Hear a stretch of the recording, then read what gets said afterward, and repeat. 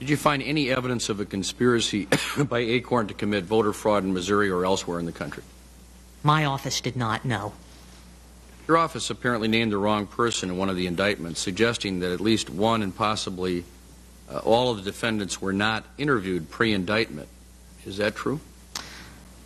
Senator, I'm not sure that I'm able to talk about um, that kind of information. That may be Rule 6E material, uh, grand jury, in terms of the nature of our investigation. Um, I can tell you that the individual who um, who we amended to, you know, one, one individual was dismissed, and, and uh, we then ended up charging a fourth individual, and I can tell you that that individual was also charged with identity theft. I understand. I, I know you testified uh, similarly to Senator Feinstein and also when I wasn't here to Senator Leahy's question uh, on the ACORN indictments, quote, I didn't think they would have any effect on the election, unquote. And Senator Leahy expressed some surprise at the testimony with pretty good reason.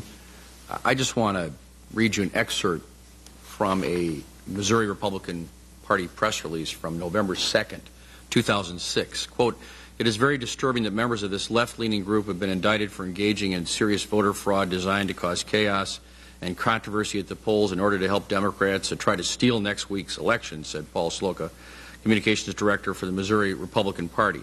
This illegal assault on our election system should concern every voter in the state who deserves to know that their legitimate ballots won't be canceled out by fraudulent ones. It also raises serious questions about the Democratic Party and Claire McCaskill's involvement with ACORN. End of quote. Would you say this statement was intended to affect voters' decisions? Senator, I can't speak for anybody else.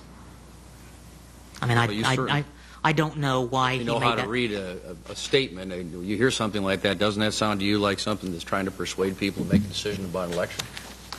Senator, I mean, I'm, I'm, I'm, I'll probably improper for me to characterize his testimony. I, I mean, I, I don't know why he said what he said.